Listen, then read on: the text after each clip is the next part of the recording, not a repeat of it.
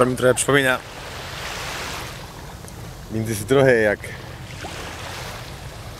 jak żeśmy ze sternikiem i z wichrem się kąpali nad ranem prosto po imprezie przy samej plaży, tak jak tu. Copacabana do wody i z powrotem.